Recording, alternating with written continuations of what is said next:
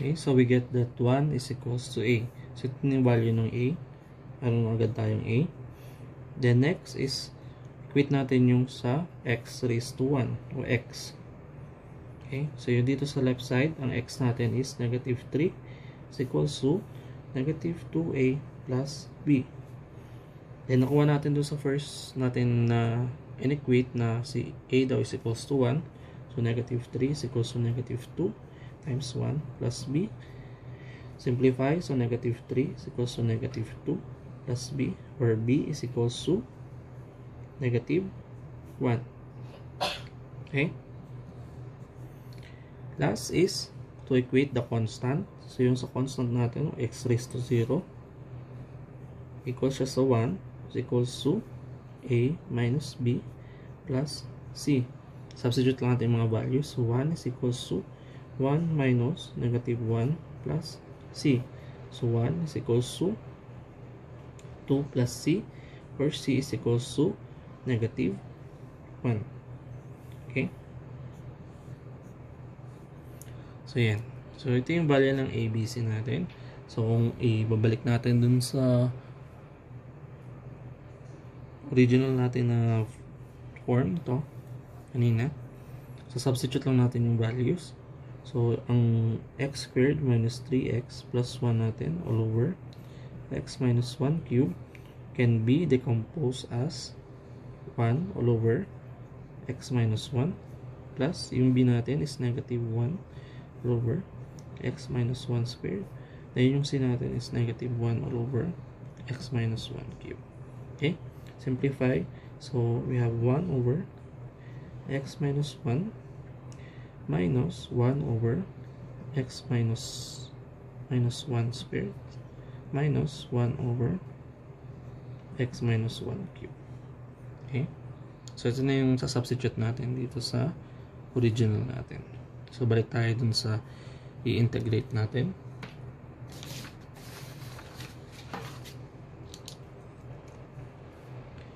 Okay?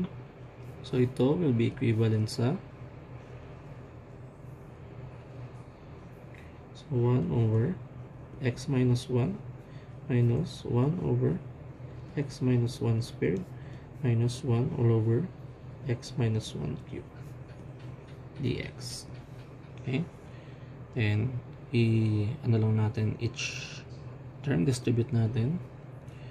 So we have dx over x minus 1 minus dx all over x minus 1 squared minus dx all over x minus 1 cube. Okay? So, yung pagkakaiba-iba ng tatlo, so yung first term natin uh, is by yung special rule ng power formula, which is ln. Then yung pangalawa is yung power formula na uh, ang value ng exponent natin is greater than 1. Okay? Ibig sabihin, yung first term natin will be ln x minus 1. Then yung second one natin, magiging siyang x minus 1 negative 2 dx minus x minus 1 negative 3 dx plus c. Pag sinimplify, ln x minus 1 minus ito pag inintag udu natin is x minus 1 negative 2 plus 1 all over negative 2 plus 1 minus x minus 1 negative 3 plus 1 all over negative 3 plus 1 plus c. Ln x minus 1 then to maging negative 1 times negative so positive. Kasi ito it's negative 1 so mapupunta sa ilalim. So 1 over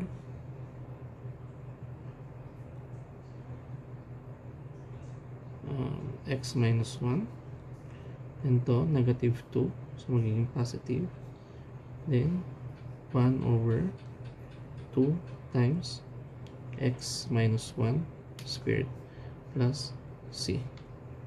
Okay? So this will be your final answer.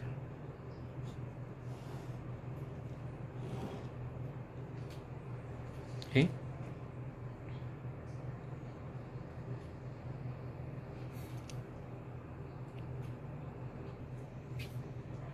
Okay? Let's proceed sa next example. So this will be the last example for case number 2. Okay. So we have integration of dx all over ex times ex minus 1. Okay. So paano to? Hmm. Okay.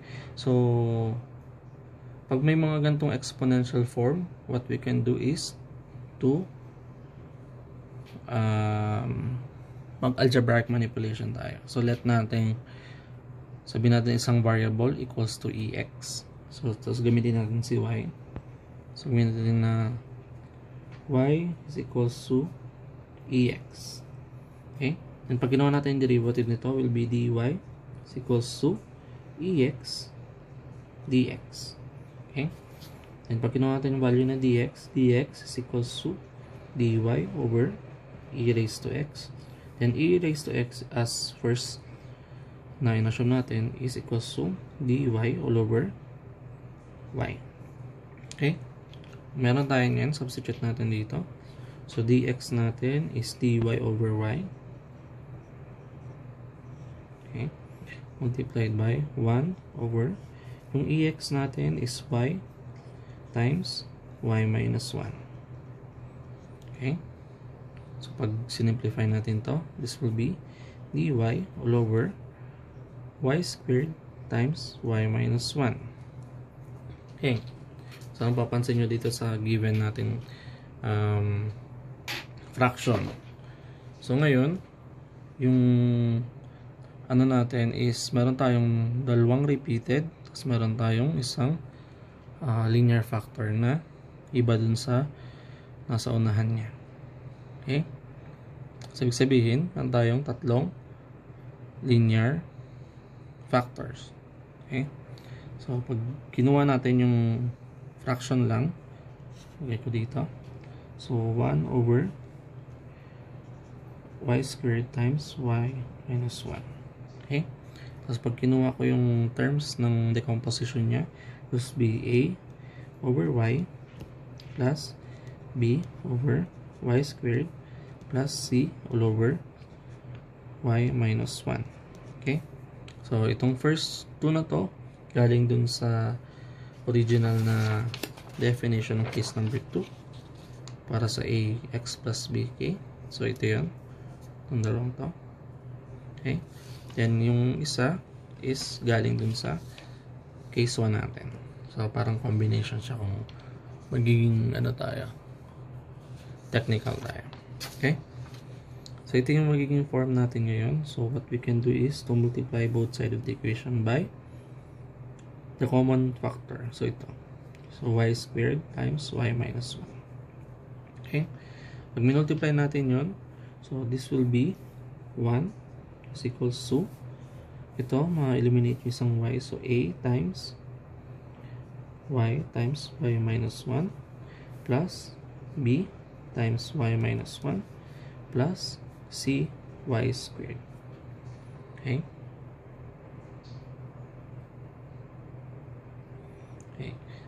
So, again, kunin natin yung values ng A, B, and C. So, so ngayon, diba nagamit na natin sa example number 3, yung uh, equating ng coefficient. Try natin ngayon yung assigning ng strategic value for X. Okay. So, yan. So, meron tayo ditong tatlong terms. So, para makakuha tayo ng value, pag halimbawa, ginawa kong 0 si Y, so, pag 0 si Y, ito will be 0. Ito will be 0 kasi ito. So, pwede si 0. Y is equals to 0. So, again, yung pag-substitute o pag-identify kung ano yung value may sa-substitute is nakadepende dun sa nagsosolve, sa knowledge niya dun sa given equation. Okay? So, 1 is equals to A times 0, 0 minus 1, plus B times 0 minus 1, plus C times 0 squared. Okay? So, this term will be 0 this will be 0 tira is 1 is equals to negative b or b is equals to negative 1 so meron tayong value for b next if y is equals to 1 magiging 0 itong dalawang term na to. Okay? So, y is equals to 1. So, we have 1 is equals to a times 1 times 1 minus 1 plus b times 1 minus 1 plus c times 1 squared. Okay? So, ito will be 0. Ito will be 0. So, matitira is c is equals to 1. Okay? Next. Ano pang value yung pwede? Okay? So, at this point, kahit anong value yung i-assume natin, uh, magiging ano na lang natin si A kasi meron tayong value ni B at ni C. Okay? So, pwede tayong mag-assume ng any value ni Y. So, mas maganda, mas maliit lang yung i-assume nyo para hindi na kayo lumayo dun sa value natin. So, try natin si Y is equals to uh, try natin negative 1 negative 1 okay so 1 is equals to a times negative 1 times negative 1 negative 1 plus b negative 1 negative 1 plus c negative 1 squared okay simplify so 1 is equals to negative 1 negative 1 is negative 2 times negative 1 so we have positive 2a so negative 1 negative 1 is negative 2 so negative 2b plus negative 1 quantity squared is 1 plus c. Then substitute natin yung value ng b and c. So 1 is equals to 2a minus 2 times negative 1 plus 1. Simplify. So 1 is equals to 2a. Negative 2 times negative 1 is positive 2 plus 1. We have 1 is equals to 2a plus 3. Then, i-transpose natin. We have negative 2 is equals to 2a. So, si a daw is equals to negative 1. Okay. Kompleto na yung value natin for A, B, and C. So, ibig sabihin, yung original equation natin, so, dito ko nang lalagay. So, yung 1 over y squared times y minus 1 natin will be negative 1 over y plus negative 1 all over y squared plus 1 over y minus 1. Simplify natin. So, negative 1 over y minus 1 over y squared plus 1 over y minus 1. Okay. So, substitute natin pabalik dito.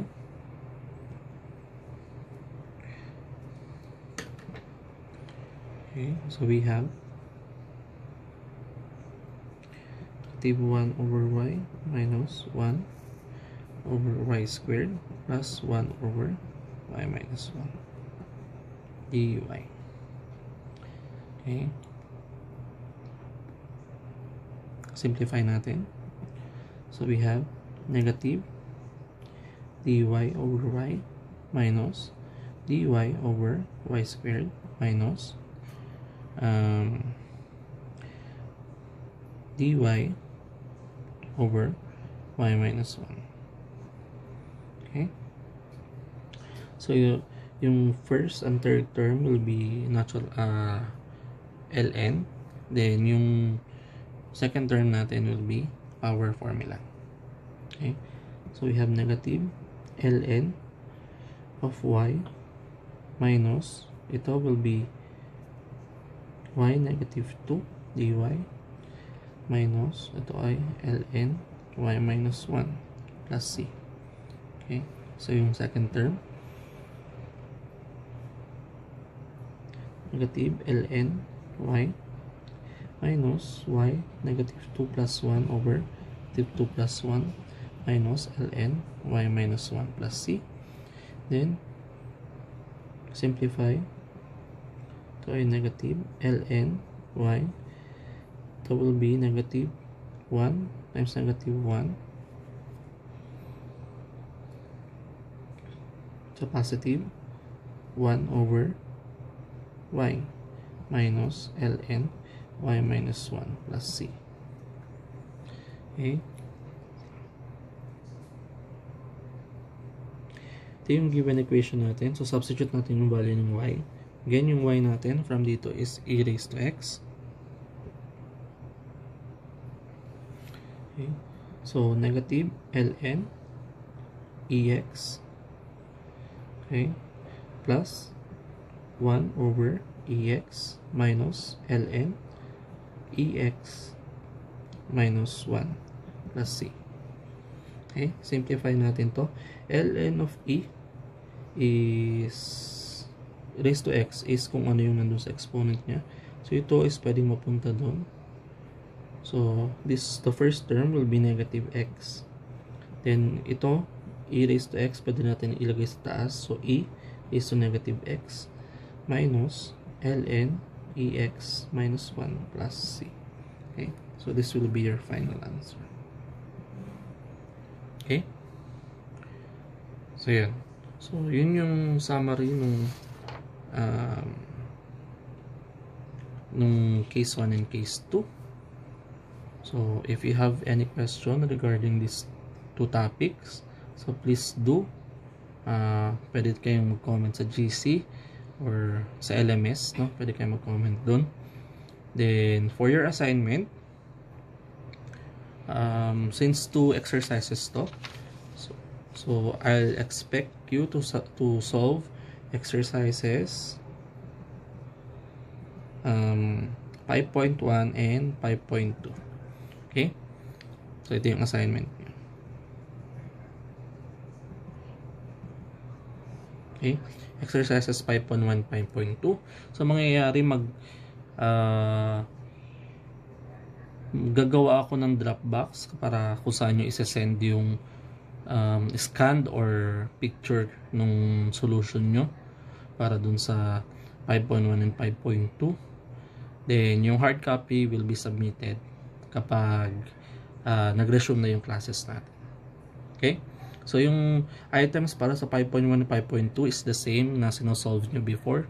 Yung sa add and even and letter N letter B na um, naka-assign sa section nyo.